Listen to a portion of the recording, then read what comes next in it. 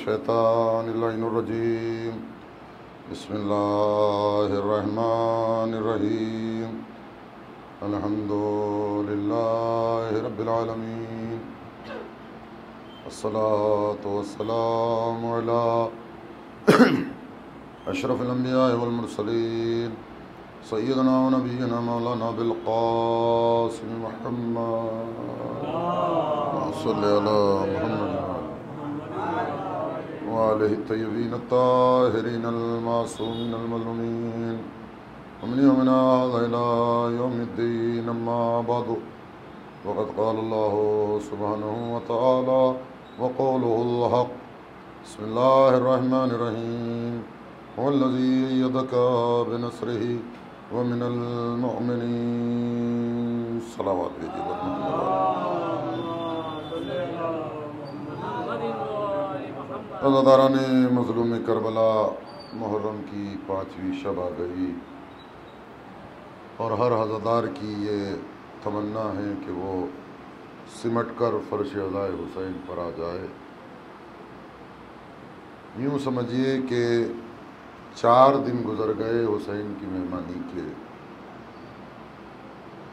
जिस मुहर्रम का साल भर इंतज़ार रहता है कितनी सूरत के साथ अख्तामी मराहल में दाखिल हो रहा है। मेरे दोस्तों और अज़ीज़ों, कुरान मजीद की जिस आय मुबारक से सिलसिले का आगाज़ किया गया था, अल्हम्दुलिल्लाह, वो अपने पाँचवें मरहले में दाखिल हो गया।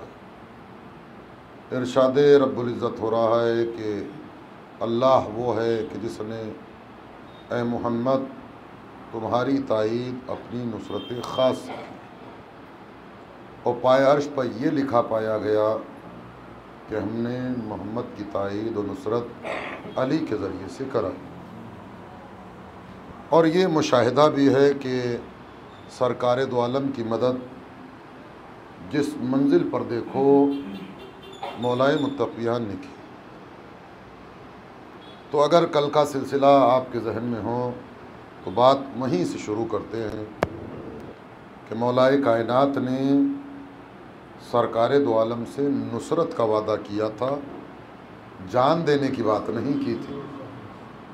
लेकिन अल्लाह रे अबू तालिब के बेटे का नसीब और उसकी अजमत कि अगर जान देने की भी बात आई तो अली ने नुसरत रिसालत से दरेब नहीं की। और हमने ये देखा, देखिए वो मक्के की ज़िंदगी है अभी, कि जिसमें अल्लाह के नबी की बहुत सारी ऐसी फजीलतें हैं, जो मैं छोड़ता हुआ चला आ गया, लेकिन वो खाका आपके जहन नशीन करता चलूँ, कि मक्का ही है कि जहाँ से अल्लाह के नबी को मेराज नसीब हुई। और लोग कहते हैं, बस दो जुमले मेराज के सिलसिले से कहकर बात को आगे बढ़ जाऊँ, लोग कहते हैं कि रसूलुल्लाह को मेराज रूहानी हुई। जिस्मानी मेराज नहीं हुई।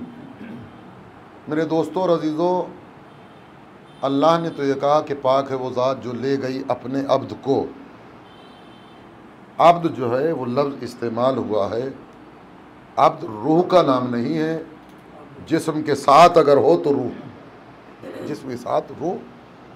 यानी सरकार दो आलम को जिस्मानी मेराज हुई है, रूहानी मेराज नहीं है। शॉर्ट भी यूँ समझ लीजिएगा ताकि हम दिखाएँ अपनी निशानियाँ अपने हबीब को। ठीक है? सरकार दो मेराज पर गए और वापस आ गए। बस एक छोटा सा वाक़ ताकि मेराज बच्चों के जहन नशीन रहे, मुसलसल सुनते रहते हैं मेराज की फजीलत। जब चौथे आसमान पर नबी खुदा पहुँचे तो वहाँ देखा कि कुर्सी है और उस पर एक नूरानी शख्सियत बैठी हुई है। अब जो देखा तो अली बैठे हुए हैं। अली, तुम हमसे पहले यहाँ पर मौजूद हो। फरिश्तों ने कहा, ये देखिए, सवाल बराए जहालत नहीं है, हम लोगों तक पहुँचाने के लिए है ये सवाल ऐसा नहीं है कि नबी खुदा नहीं जानते। कफ, आपने एक दिन कहा था कि अली के चेहरे पर नज़र करना इबादत है। लिहाजा फ़रिश्तों ने अल्लाह की बारगाह में दरख्वास्त की कि इस फजीलत से तो ज़मीन वाले मुशर्रफ होंगे, हमारे लिए क्या होगा? अल्लाह ने एक फ़रिश्ते को अली की शबी में कल्क किया है ताकि आसमानी मखलूक अली के चेहरे की ज्यारत करके इबादत कर सके। बाजह नशीन हो गई। तो नबी खुदा चौथे आसमान की मंजिलों को तय कर रहे हैं। एक शेर सामने से आ गया।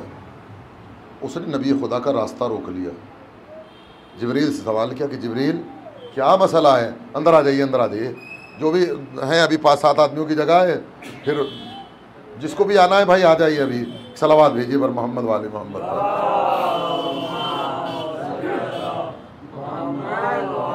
इधर आ जाओ बेटा, इधर आ जाओ। एक और सलावाद भेजिए मोहम्मद आपका। तो जबरीन ने बताया कि अल्लाह के नबी, ये आपसे कुछ हदिया चाहता है। नबी खुदा ने अपनी अंगुश्त मुबारक उतारी और अंगुश्तरी मुबारक उतारने के बाद जो है वो शेर के हवाले कर दी। अल्लाह के नबी मेराज की मंजिलों को तय करके आ गए। समझे? अब मेराज के किस किस पहलू पर नज़र डालें और किस किस चीज़ को बयान करूँ? ये लोग हैं जो एतराज़ करते रहते हैं। वहाँ जो है वो मौलाए कायनात से मुलाकात हुई।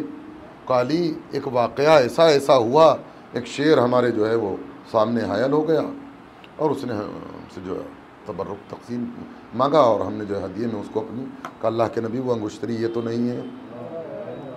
आहिस्ता आहिस्ता पढ़ूँगा थका हुआ हूँ ज़रा।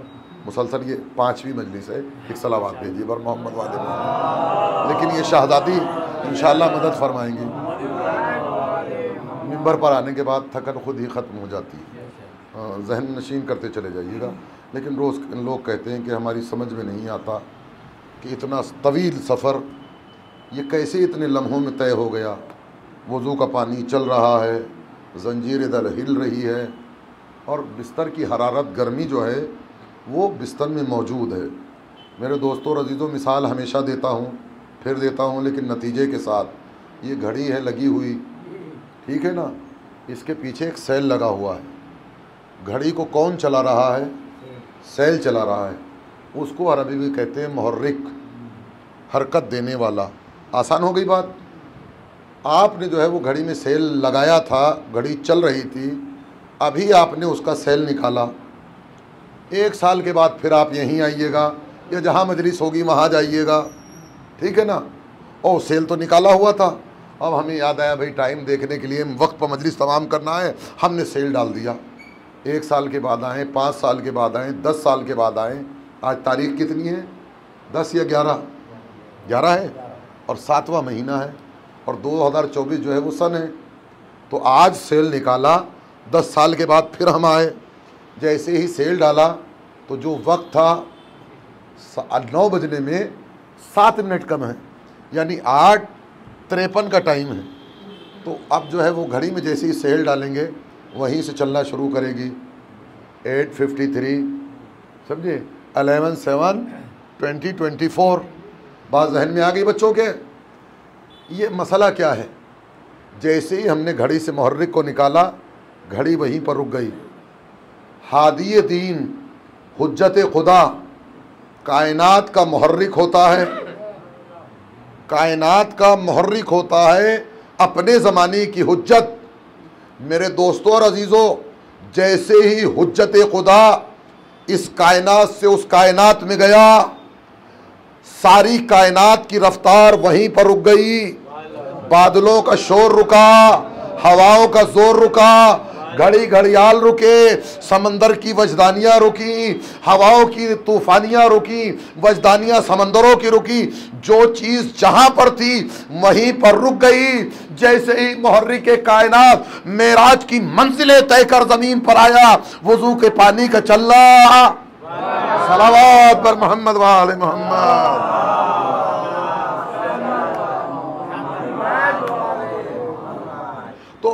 ये तो मुसलमानों के लिए फ़ख्र की बात थी कि जो एक कम एक लाख चौबीस हज़ार नबियों को शरफ मैसर ना हुआ, वो हमारे नबी को मैसर हुआ।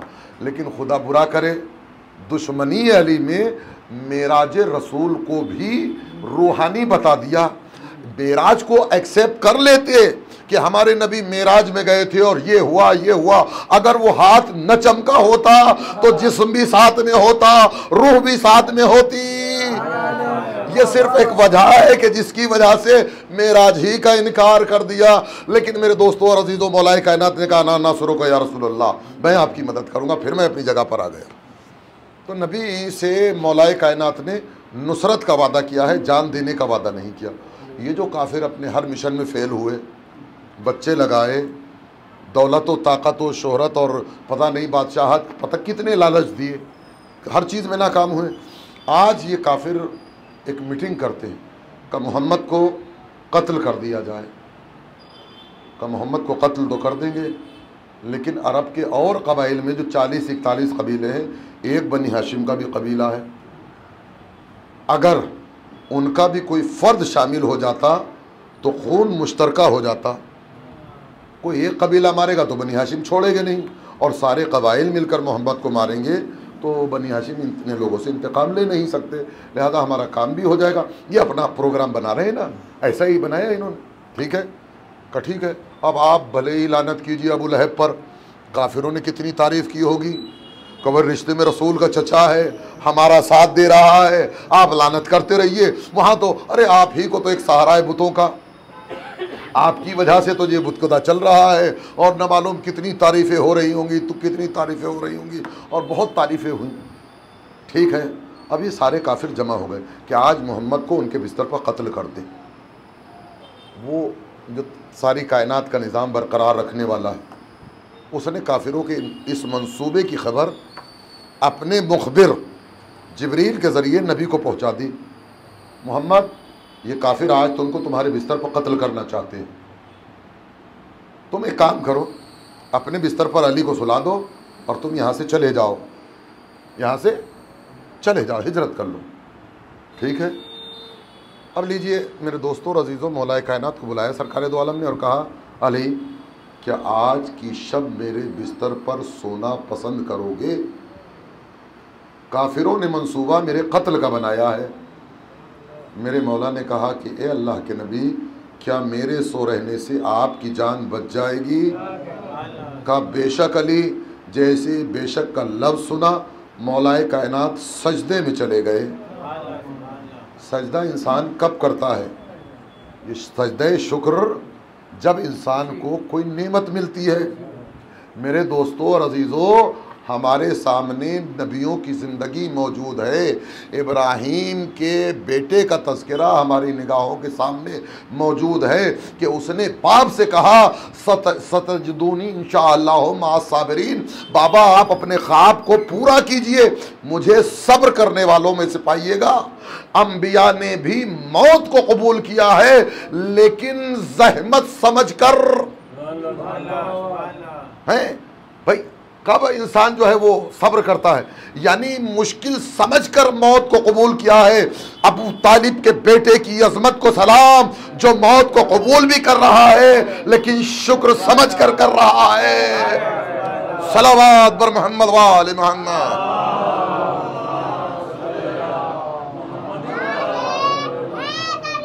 या। देखिए, ये है शब हिजरत शायद दो शबों तक जो है वो मुझे आपको जगाना पड़े। हैं? तवील। और इसके बगैर, देखिए शायद जवानों ने बुज़ुर्गों ने न मालूम कितनी बार, लेकिन ये बच्चों के लिए पढ़ रहा हूँ, ताकि इसके कुछ पहलू जो हैं, वो बच्चों के जहन नशीन हो जाएँ, कि जिससे वादा करो, ये मत सोचो कि इसमें हमारा नफ़ा होगा कि नुकसान होगा। ये देखो कि खुदा कितना राज़ी होगा। बात जहन में आ गई। तो मौलाए कायनात के लिए रिसालत माब ने यह पैगाम पहुँचा दिया कि आज तुम्हें हमारे बिस्तर पर सोना है।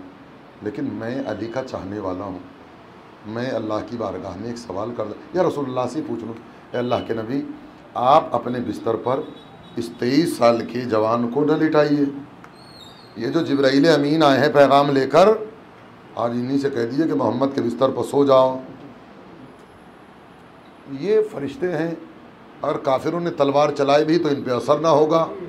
और खुदा न खास्ता ये कहीं काम भी आ गए तो न बीवी है, न बच्चे हैं, न कोई आगे है, न पीछे है, सवाब होगा। और ये आज के थोड़े ही हैं। न मालूम अल्लाह ने कब इनको खल किया। कब इनको खल किया, इतना जी लिया और कितना जिएँगे। तो मेरी बात तो तमाम हो या ना हो, जबरील कहेंगे मौली साहब, अपने जैसा समझ रखा है कि मैं मोहम्मद की जगह पर आ जाऊँ।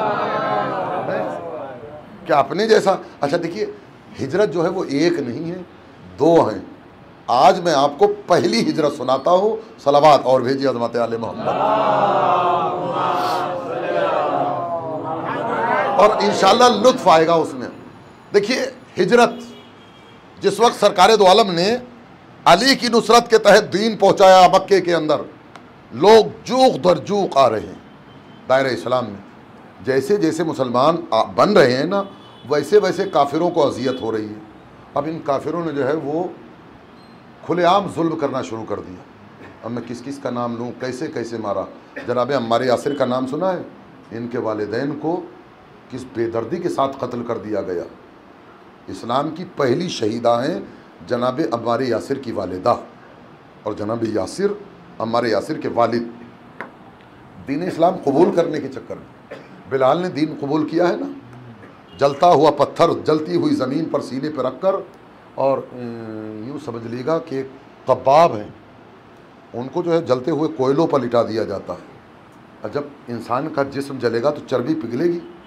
और चर्बी जब आग पर पड़ती है तो शोला बुलंद होता है। खुदा की कसम, दीन तो उन्हीं लोगों का था जिन्होंने इतनी मुसीबतों में कबूल किया। हमें तो सारा खाना बना बनाया मिल गया ना। जितना शुक्र अदा करें, उतना कम है। हमने दीन के सिलसिले में कोई जहमत नहीं उठाई, लेकिन फिर भी हमारे अकायद इतने मज़बूत नहीं हैं जितने उनके थे। दुआ करें कि हमारे अकायद इतने ही मज़बूत हों। लेकिन मेरे दोस्तों अजीज़ों, मरहला क्या है कि सरकार दो आलम जब मुसलमानों को ज़्यादा परेशान कर का तुम हिजरत कर जाओ। वो पहली हिजरत हबशा की तरफ़, हबशा की तरफ़ मुसलमानों जिसमें जाफ़र तैयार भी हैं। और अबू सुफियान की एक बेटी हैं। वो भी जो है वो इस हिजरत में गई। आगे चलकर मैं पूरी डिटेल बताऊँगा। इन काफिरों से बर्दाश्त नहीं हुआ। जैसे ही पता चला कि मुसलमान जान बचाकर जो निकल गए, इन्होंने जो कुछ दिन के बाद अपने घोड़े दौड़ा दिए। ये हमारे कैदी हैं, ये हमारे मुजरिम हैं, इनको तो हम कत्ल करेंगे। लेकिन जब इनको ये पता चला कि बादशाह हबशा ने इनको पनाह दी है तो इन्होंने कुछ मालू इसबाब अपने साथ लिया, कुछ तोहफे तोहफ़ और न मालूम क्या क्या लेकर जो है वो रिश्वत के तौर पर वहाँ के वज़रा से मिले कि हम तुम्हें ये देंगे ये देंगे। हमारे कुछ कैदी तुम्हारे पास आ गए हैं, लिहाजा वो हमारे कैदी हमारे हवाले कर दो। और तुम उसमें मदद करोगे तो हम तुम्हें ये देंगे ये देंगे ये देंगे। ये हबशा पहुँच गए। और जनाब जाफ़र तैयार उन मुसलमानों के साथ जो है, हबशा के बादशाह ने इनको नजाशी नाम है उस बादशाह का, उसने इनको पनाह दी है। ये पहुँचे। पहुँचने के बाद जो है इन्होंने जो है वो किसी सूरत से मालो इसबाब वजरा को देने के बाद बादशाह से मुलाकात का वक्त जो है निकलवा लिया। का हुजूर, वो जो हमारे मुजरिम हैं, तुम्हारे यहाँ पनाह लिए हुए हैं, हमारे मुजरिमों को दे दीजिए। का अच्छा हम भी तो पता करें कि तुम्हारे मुजरिम किस बात पर है।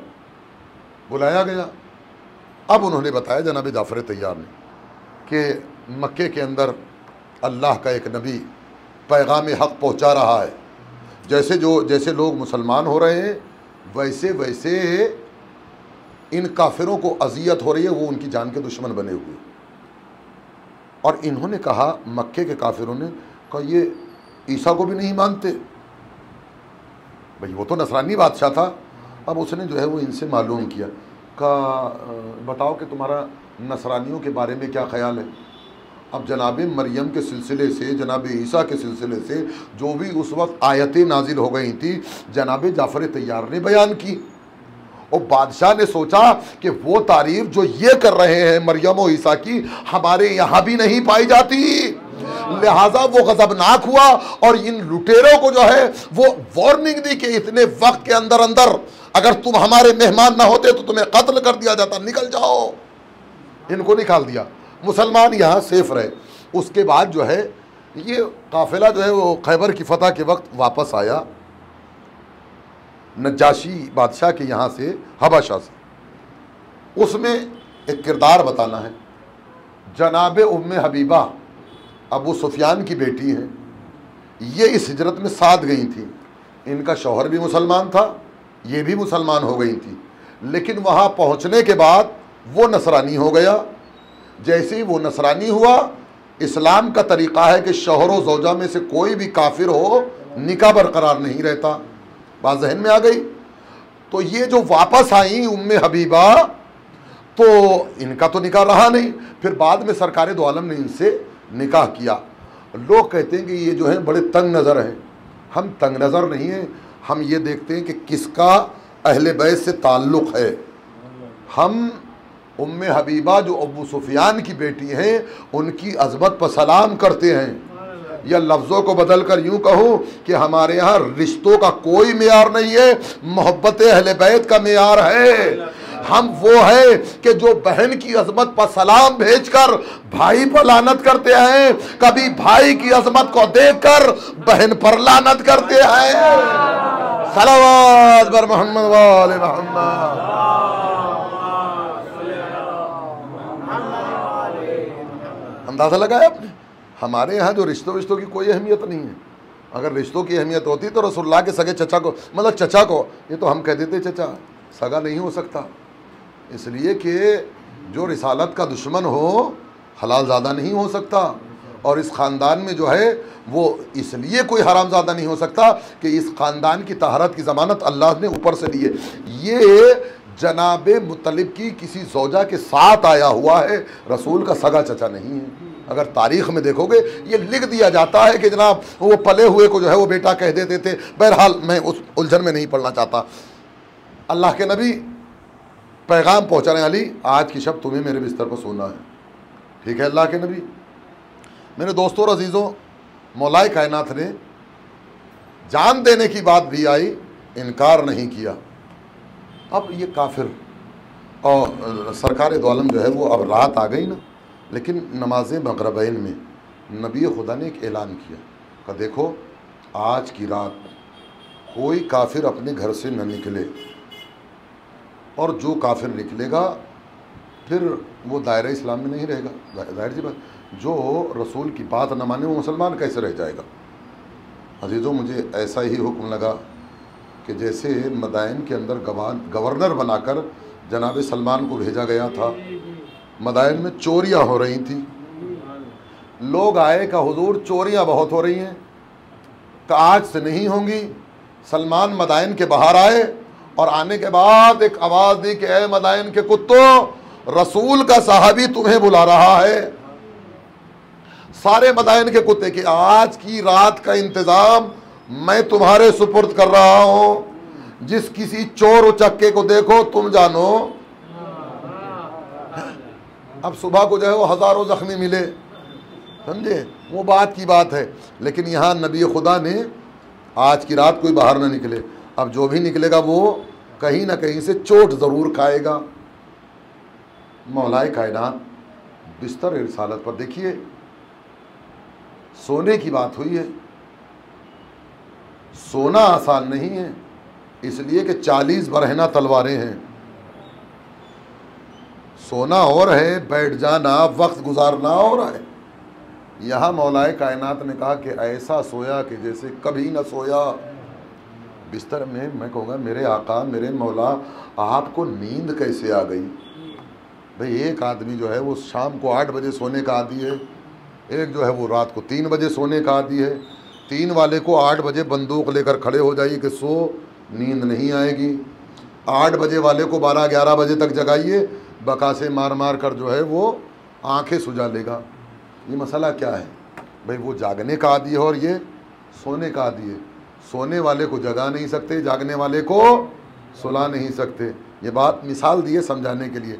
मैं कहूँगा, मेरे आका, मेरे मौला आपको नींद कैसे आ गई? इसलिए कि आपकी सारी ज़िंदगी की रातें तो मेरी निगाहों के सामने हैं। मैंने कभी आपको सोते हुए नहीं देखा। रात के इब्तदाई हिस्से में, कभी खाने काबा में, रात के दूसरे हिस्से में, कभी गरीबों के दरवाज़ों पर, कभी मिस्किनों के दरवाज़ों पर रोटियाँ बांटते हुए, माल बांटते हुए आखिरी हिस्से में, कभी खाने काबा में, कभी सहरा में अल्लाह की इबादत करते हुए नज़र आए। मेरे मौला, आपको नींद कैसे आ गई? मेरे मौला, आप सो कैसे गए? अजब नहीं कह जवाब दे नादान। जागने का राज समझ ले, सोने का खुद ब खुद खुल जाएगा। या याद खुदा में जागता हूँ या मोहब्बत रसूल में। आज खुदा मुतवजे था, रिसालत महफूज थी। नींद नहीं आएगी तो क्या होगा? सलावाद बर मोहम्मद वाल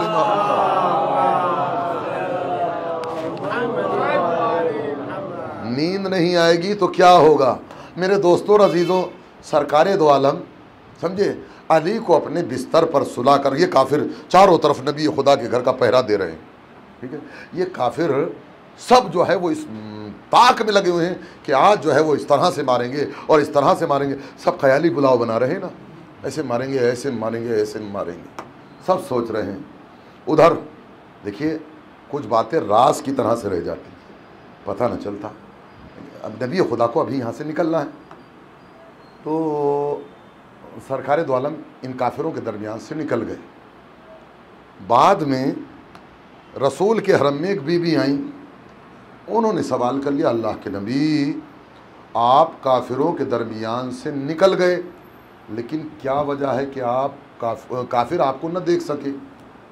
का कुछ नहीं वो कुरान मजीद की फला फला थे पढ़कर मैंने कंकरियों और धूल और मिट्टी पर वो पड़ी और काफिरों की तरफ़ फेंक दी। जिससे उनकी कुछ दिखाई नहीं दिया और मैं जो है, वो अल्लाह के हुक्म के मुताबिक वहाँ से निकल गया। अब जब कोई काम की बात होती है तो कहते हैं ना, पल्ले में बाँध लेना। इन्होंने पल्ले में बाँध ली वो बात। एक मौका ऐसा आ गया कि ये अली के मुकाबले पर पहुँच गई। अब इन्होंने जो है उस पूरे सूर्य को पढ़ पढ़ कर अली के लश्कर की तरफ़ मानना शुरू किया, मानना शुरू किया। लेकिन खुदा की कसम, इन पढ़े हुए सूरों का इस खाक फेंकने की वजह से अली के लश्कर पर खाक असर न हुआ। किसी ने कहा कि भाई, ये क्या कर रही हो? का चूँकि रसूल इस्लाम काफिरों के दरमियान से निकल गए थे, का तुम्हें नहीं मालूम? रसूल ने कुरान मोहब्बत अली में पढ़ा है, तुम बोझ अली में पढ़ रही हो तो कैसे कबूल हो जाएगा? अल्लाह मोहम्मद वाले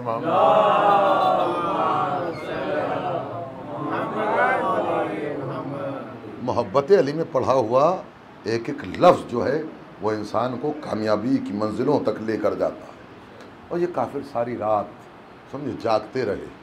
अजीब जागे ये। और एक वो बंदा है जो सो रहा है। और मेरे दोस्तों और अजीज़ों, जब भी शब हिजरत पढ़ता हूँ, इसको पढ़े बगैर मेरा दिल नहीं मानता कि उधर अल्लाह फ़ख्र मवाहत कर रहा है फ़रिश्तों में। समझे का देखो कैसे एक भाई पर एक भाई ने जान को रिसार कर दिया। जब्राइल मिकील मिकाइल तुम में कौन है जो मोहम्मद पर अपनी जान कुर्बान कर दे? हर एक ने कहा महबूद जितनी ज़िंदगी देगा। है? एक दूसरे पर ज़िंदगी की बात की तुम्हें कौन है जो अपनी ज़िंदगी को महबूद जितनी ज़िंदगी देगा, उतनी तेरी इबादत करेंगे। यानी तैयार नहीं हुए। कहा, देखो मेरे एक बंदे को देखो जिसने अपने भाई पर अपनी ज़िंदगी को कुर्बान कर दिया। अब ये जिब्राइल और मिकाइल उतरे और उतरने के बाद एक पायती खड़े हो गए, एक सराहने और मुबारकबाद दे रहे हैं, अली मुबारक हो, अली मुबारक हो, अली मुबारक हो। तो ये तो जिब्राइल और मिकाइल थे। मैंने कुरान को देखा। कुरान के एक एक हर्फ ने जो है, वो अली को इस सोने की मुबारकबाद दी। अलिफ ने कहा असदुल्ला सो रहा है। बाबी बे ने कहा बाबी मदीनतुल इल्म सो रहा है।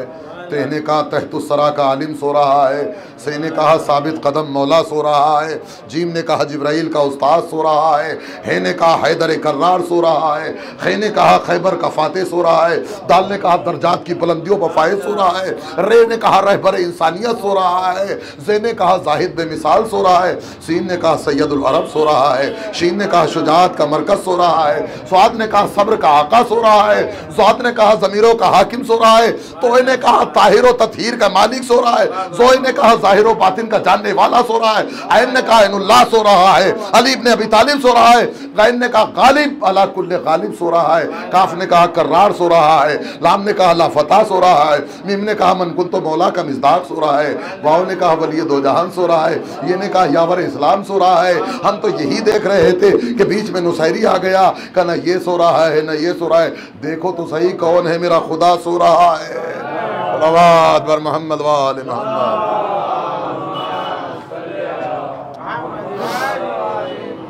तो मेरे दोस्तों रदी तो जिसने नुसरत का वादा किया था, जान पर भी आ पड़ी तो उसने एक लम्हे के लिए सोचा नहीं, खुदा की कसम, ये तो बेटा है, हमने तो बाप को देखा है। समझे? बाप को देखा है कि बाप ने क्या तरबियत की वो बेटा बाप को देखे हुए है कि मेरा बाप हिफाजत रिसालत में नुसरत रिसालत में अपने चारों बेटों को कुर्बान कराना पसंद कर रहा है, लेकिन मोहम्मद की हिफाजत कर रहा है। मेरे दोस्तों, अजीज़ों, अगर दीन इस्लाम पर किसी का एहसान है तो अबू तालिब का एहसान। मोहम्मद की जान बचाई तो अबू तालिब के बेटे ने। मोहम्मद का पहुँचाया हुआ दीन बचाया तो अबू तालिब के पोते ने। वो हुसैन करबला में पहुँच गए पांचवी शब है ना मेरे दोस्तों और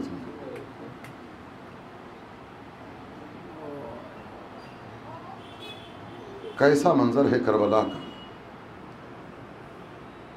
नमाज़ सुबह से अंदाज़ा लगाइएगा कि कैसी कैसी इमाम हुसैन अलैहिस्सलाम के ऊपर मुसीबतें गुजर गई। वो चाहते तो यही थे कि अभी जो है इनका खात्मा कर दिया जाए। लेकिन जैसे ही नमाज़ का वक्त शुरू हुआ, इमाम हुसैन अलैहिस्सलाम मुसल्ले पर आए और उधर कुछ जानिसार हैं कि जिसमें सईद और जहर का नाम सर फहरिस्त, ये इमाम के आँखें खड़े हो गए। यजीदी फ़ौज ने तीर बरसाना शुरू किए। ये वो मुजाहिद हैं कि जो हुसैन तक तीर नहीं आने दे रहे। कभी जहर बढ़कर तीर को ले रोक लेते हैं, कभी सईद बढ़कर रोक लेते हैं। और ये जहर जहर और सईद कोई जवान नहीं है, दोनों बूढ़े हैं। और सईद तो अस्सी को क्रॉस कर चुके हैं। अजादारान मजलूम करबला बेकसी देखिएगा कि इधर हुसैन की नमाज़ का सलाम तमाम हुआ, उधर वो रसूल का सहाबी सईद हुसैन के सामने त्योरा कर गिर पड़ा। रमक जहाँ ज़रा सी बाकी है कि इमाम हुसैन अलैहिस्सलाम ने सईद का सर अपनी आगोश में रख लिया जैसे ही हुसैन ने सईद का सर रखा और सईद ने देखा कि फ़ातिमा जहरा के लाल ने मेरा सर अपनी आगोश में रखा है, अपने सर को ज़मीन पर पहुँचा दिया। कहा, आका, कहीं ग़ुलामों के सर भी आकाओं की आगोश में आते हैं? अजादारा ने मजलू में करबला। एक मरतबा फिर हुसैन ने सर उठाया और अपनी आगोश में रख लिया और देखा कि सईद हैं जो बेचैन हो रहे हैं। इसलिए एक जिसम के हर हिस्से में तीर लगा हुआ है। एक मरतबा सईद के चेहरों पर, चेहरे पर जो है, लबों पर ज़रा सी मुस्कुराहट आई। ज़रा सा सुकून हुआ। का सईद, कुछ महसूस कर रहे हो? कहा, मौला, ऐसा लग रहा है कि कोई हमारे सर पर हाथ फेर रहा है। का सईद, सलाम करो, ये कोई और नहीं हमारे नाना मोहम्मद मुस्तफ़ा है। एक मरतबा सईद कहते हैं, मौला, और मौला ने मालूम क्या, सईद, कहा, मौला, कोई ऐसा है जो मेरे बाजू को सहला रहा है? कहीं मेरे बाबा अली है, कोई बाएँ बाजू को सहला रहा है। कहीं मेरे भैया हसन है। एक मरतबा अजीब जुमला कहा, सईद ने, मौला, मेरे पैरों पैरों की तरफ़ कुछ गुजर हो रहा है का सईद, पैरों को समेट लो, ये कोई और नहीं, हमारी अम्मा फातिमा, सईद ने इतना सुना, वाह गुरबता वाह मुस्लिम